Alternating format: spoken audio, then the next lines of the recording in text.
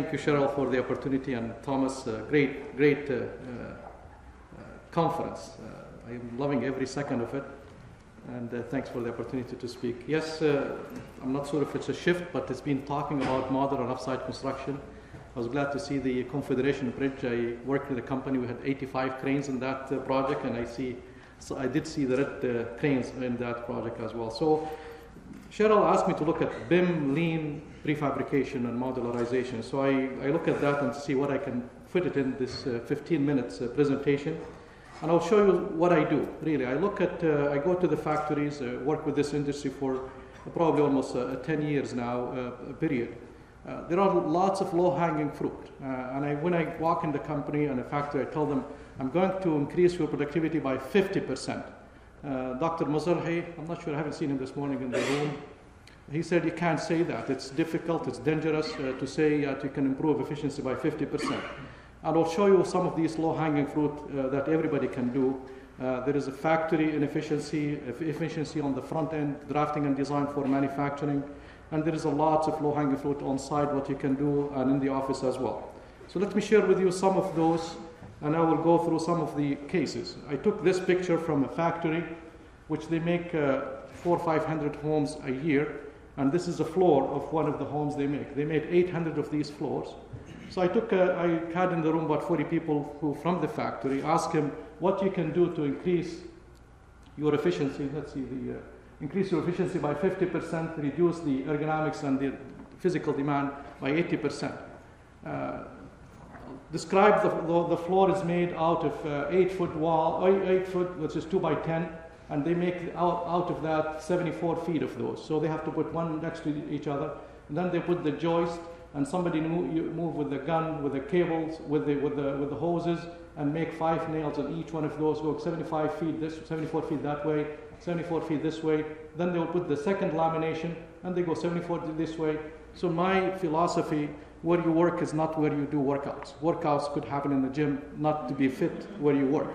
And then uh, this fellow will make drills for the uh, electrical or for the plumbing and so on and so forth. You can see the inefficiency. And I ask him, what can you do using the same tools you have, increasing your efficiency by 50%? So I'll show you in a graphic format, which I did show them how they do the work today. So they put these uh, eight feet long, they make out of that 74 feet. And, and it says this is the best machine they ever had, and it's been working for uh, as long as the company exists, about 45 or 50 years. And then from there, they will put them together in the floor. I did show them how they work today. And uh, key to that, you see the people moving with this tripping around, and then he has to go. And really, it's a very good uh, gym place to be fit, and you can really work for a long time. So it is all wrong, really. And you do that, and they do that for a long, long time and every day. So I look at the backyard in the factory. They had a drill machine that has a six-foot bit, a drill bit, and I said, why don't we use? I can work an hour or maybe a day. I can make work worth for a month or two just by pre-drilling in advance these things. The second philosophy, which I'm going to tell you four things or five things what I do. Uh, fix the tools, fix the people, bring the projects, bring the material to the people where they are. Don't let the people move around. They love multitasking. They love going around, talking fishing trips over the weekends, and you can't find them when you need them, when you need them really. The second is pre-assemblies. Focus on sub-assemblies, pre-assemblies, pre-assemblies. If you can put two pieces together, that's, a, that's a, an enhancement on you know, productivity in a production line.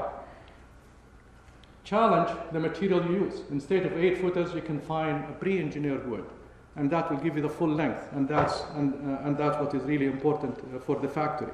So, in a sense, if I fix the people, fix the tool, sub-assemblies, I can increase the production by 70 to 80%, not 50%. In some places, I might be successful in 5, 10%, and overall 50% in achievable. The next step I looked at it when we make, when we build the homes. A home is made of many, many, many walls. And the way we build, uh, in North America, we are stick builder under a roof. And I really mean it. And that's what, if you go to visit any factory in North America, they really move the work from outside to an indoor environment. And they get, they harness the power of an indoor environment simply. Uh, just one, one thing they do.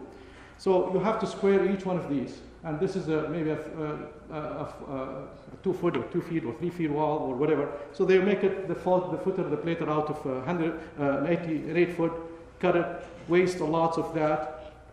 And I, I look at it, so the student look at that and said, well, if they can make a full wall of 40 feet long, as long as the table can handle that, why don't we merge these walls? And today the factory I work with, every house, every wall is 40 feet wall. We can put them together, whether it's closet wall, bathroom wall, they put interior wall together, exterior wall together, and the increase of the efficiency was double the next morning we started this process. So, and what we call it multi-wall system now. And these people, they don't care what they build. They build walls of 40 feet every day, and that's what they really build. The power of the computer, which is the 3D model, the BIM model, which uh, Cheryl asked me to talk about, is the one you need today more than ever before. So the other things I look at. Okay, that's bad. Okay, can you put, kill it all the way down? I'll put it back up uh, later. Sure. Yeah. Is it done? I can. can you go ahead, yeah. Yeah. So I, I want you to look at. So they asked me how to predict how much does it take to put a stud in a wall. So I'll show you something here. You can see, and you can see by self there is something wrong. So he- this guy has to fit it and push it in. He grabbed a tool which was not part of the machine. So that tool was in there, and I've seen them kicking with the foot.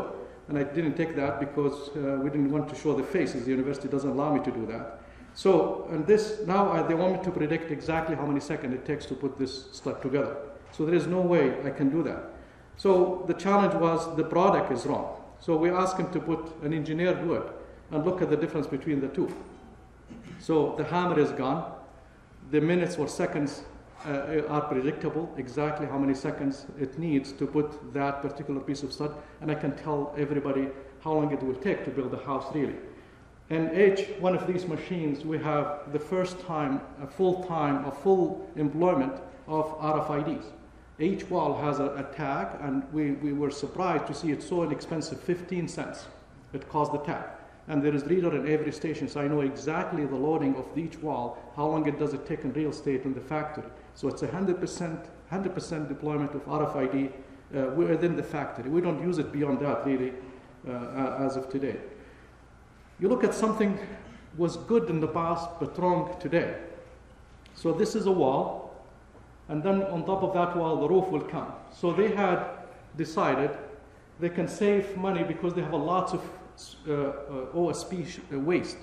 They can cut these pieces of OSB and put them, these pieces of OSB, they can cut them and reuse them. But it was a good idea for a month because they had so much waste at that time.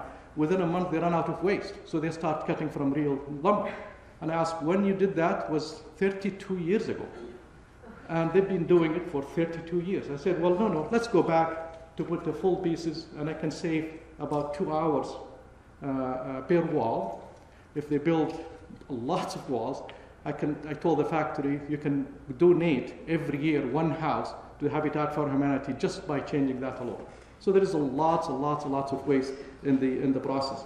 And they do that for other things, and we start to, I call it interrogations. I interrogate what we do and how we do it, the material we use, the tools we use, and so on and so forth. By the way, Cheryl cheated because she started with five minutes, but uh, on me, no. so this is what we're proposing now uh, to change from what was a good idea at one point in time to something that, uh, no, no, just uh, I'm good there. the other things I look at the, the tools they use. This is a nail gun, which is an ideal. You can use it while standing, and you don't have to nail the floor. So we talked to the provider of the nail gun. I said, well, can you give me pneumatic uh, instead of a screw, will be a, a nail. Because the, the wall, you need to screw it to the joist to avoid squeaking. And they came back with the technology within a week that a, a nail, a screw will be instead of a screw, it, it have a combination be a nail, a screw, increase the production of this. You can't imagine how, how many screws. Thousands, thousands of screws, they go into the floor. So that increased the production by probably three times or four times more than what uh, used to be. So walk you through some of the work in the factory. So sub-assemblies has been happening now uh, with this particular factory. Look at the machine. I have my students can predict exactly uh, within within a margin of uh, probability within uh, a scale of seconds or, or minutes maximum uh, what it would take to build a wall for a particular house and then uh, and you can see here he's building multi walls he doesn't care the computer tells him what to do the machine the product comes to him and I evaluate the space he need where he move around how much space he need that particular station was mixed between machine and human. This one here is more human. This station is more machine. And now the machine can work alone. I know people will say, well, I don't care, but again, the machine takes time. So instead of having one, we asked to make it double. So now they have two heads that they work together. With this, with, so the, as you can see here, there is really no human interaction with this. So we need to assess uh, we have sometimes 50%, 50 50, 70 80, depends what, what station you work on. And then uh, you move on, eliminate the fear of lifting. And if you can look at this wall, is really more than one wall. This is about four or five walls made in one single wall. And the company, they have, they're handling 40 foot wall every day. And they know how to do it, and the machines, uh, they, they put all the machines needed. Then I move to people love volumetric. They make a box, and start moving around exactly the same with the ant, ant uh, colony. You can see us as ants if you watch it from top. If you speed up the, the, the, the, process of the machine, you can see people moving really in and out, in and out. So I'm against volumetric, work in 2D. And you can see here, can, uh, the real estate that wall is taking is just limited to a small, uh, a small space behind them. The wall moves on and they can keep moving. You can add a window, you can add a door, you can work from both sides, and you can see the efficiency was about 80% in this particular uh, move uh, from 3D to 2D. The second stage, well, people said, well, if you put something finished product, it's very hard to make modular or off-site construction because you can't go and start cutting. And it's the biggest challenge, how I can put siding, and it took us a while to learn how to make the siding that when you go outside in the field, you don't cut. So it has to be fit and perfect. And that was done, and now every house has been built with siding on it. The next step will be the lifting into the crane, onto the, on the, onto the truck. And I'll show you, let's say, this single family home building. They call themselves the six hours building. They can build a home in six hours. They lock out, so they lock the door behind them in six hours. Some of the more complicated will take two days. So between six hours and two days, they can close the door, which the siding on, uh, bathrooms are all installed, uh, no fixtures, no plumbing, no drywall, nothing at the moment. So we're working with them now to move to closing uh, the walls. So that basically, what could, uh, you see this happening, and you walk out, you go to work, come back, there is a neighbor house which you never seen before. key, key really the drafting and design up front. Uh, they have more people on the second floor than in the, in the factory floor. We know exactly, exactly how many nails goes to every house. We know exactly how many grams of, of glue goes on top of the joist on the floor because the machine does the glue, the machine does the nailing. So we, that's what the power of the really, uh, of the building information model with this. Now, learning so much, I moved to what we call it commercialization. University of Alberta now we're involving in discussing how I can make these machines. Uh, to be honest with you, uh, any machine that made in North America was destructive, distract the industry, was wrong machine because everybody bought the jig table, which is American or Canadian made, and in three months down the road they throw it away. I can today, if you want to buy, you can buy them. People can give you money just to get rid of them. But how come the German? Why they think differently? So the German machine works, the Canadian, North American doesn't work. The other things, which I'll show you some of that a little bit later. So I promise increase in efficiency, reduce in, in, in, in, factory space. So this is the layout of the factory where the, the roof is made, walls is made, floors are made, and then assembled here. And then they end up assembling that into 27 to 30 stations. So I said, can I reduce that size to half? And the target today I have, by the end of this year, will play a soccer game here with all the families that working in this factory for more than 40 or 50 years. So it's a wasted space is being used. As long as you have the space, the same thing, your office or my office, your desk and my desk, we, it's filled with things which we don't need. I learned the hard way, but uh, so now how we can really make efficient use, bring the work from 3D volumetric to 2D uh, uh, work, and this way you can guarantee I can have predictability. I can really know what is going on and how things will go with this particular uh, process of uh, manufacturing. From here, we're moving to machine base. So instead of uh, moving around the full pieces, it comes in length. You don't need a full automation. I just want to demonstrate so you can really build very cheap uh, uh, system. And instead of having the machine controlled by a computer, this is machine controlled by a human.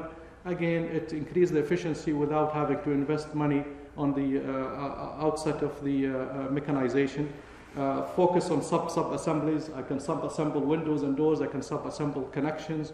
If you bring a wall uh, to a connection between walls, and uh, so on and so forth. So uh, you could do that easy and in, with relative ease and with simplicity as well. But you need to focus on drafting and design uh, for manufacturing in advance. Now I know exactly how many seconds within the small margin of error it takes to put whatever components I have uh, prepared. Go back to my presentation. So just uh, to summarize here, focus on uh, fixing the tools, fixing the people, use assemblies, multi-wall system, interrogate what you do, and interrogate also the, uh, uh, the tools, the material you have. It may not be the right material. It could be uh, cheaper than uh, engineered wood, but it's not, it's killing you and it's making really, you are wasting money or, or every day by the fact that you did not interrogate that particular uh, uh, piece of uh, material you have or, or product you have. So, if you are interested, I will organize another conference called Modular Offsite Construction Summit. It will be, we, did, we haven't really decided whether it will be spring or fall 2016. You will hear about it uh, uh, down the road from the CRC uh, members. So I'd like to share with you one of the projects is uh, the last. So this is a project in, in, New York or in New Jersey, how you can replace seven bungalows with uh, five new buildings, and you can do that in one summer. So I need your voice here if you don't mind.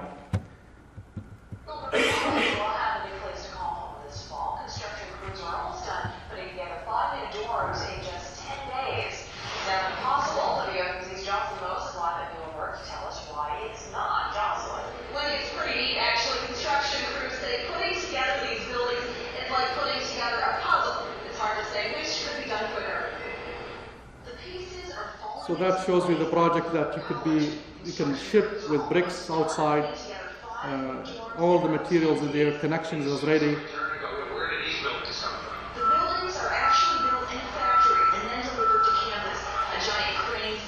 So this is uh, this conclude my presentation, and I think I'm almost running out of time.